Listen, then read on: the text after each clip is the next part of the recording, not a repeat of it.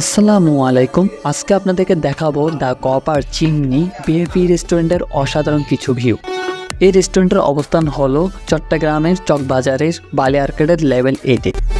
এই রেস্টুরেন্ট দেখতে বিআইপি রেস্টুরেন্টের মতো।